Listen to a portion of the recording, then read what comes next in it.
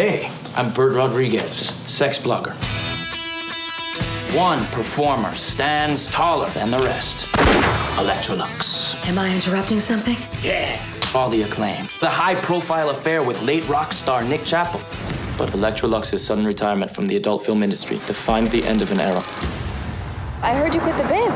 I'm pregnant. Oh my god. I'm so thrilled. Is it yours?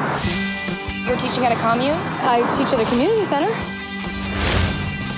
Chapter 2 How to Seduce Just About Anything That Moves. Group leader Stacy taught me to share. Ms. Luxx, I need to speak to you about Nick Chappell. You heard about the briefcase Nick was carrying. All the songs are about you. Nobody's ever written a song about me before. How can I ever pay you back? I need you to seduce my fiance.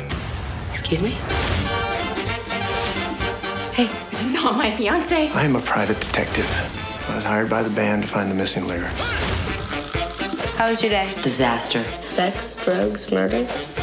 No drugs involved. Once again, you are tuned into the frequency of the erotic. Are you a little flustered? just, a little, just a little clammy, maybe. Life is fleeting. And if today is the day you want to be bad, why not be real bad? It's not bad form to look him straight in the eye and say, I don't know where I'm going, but if you move, I will kill you.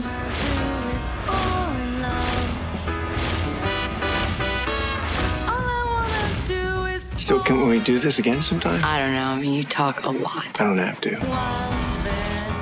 It won every major award, including two Best Actress statuettes for Miss Luxx. Mom,